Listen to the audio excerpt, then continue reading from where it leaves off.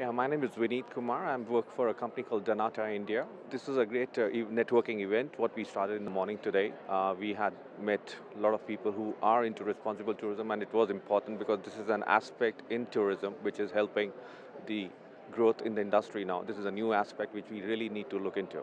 So we met people across who are into this business altogether and they are uh, getting catering into, some people are trying to evolve out of the responsible tourism, see what better we can do, how we can sustain the environment and give back to the society. So I think so it's a good introduction altogether, the, which helps you to limelight as to what you are doing and what they are doing to understand that. And of course, to carry on, you have an opportunity where you pass your cards with visit cards and you can always meet them uh, later on.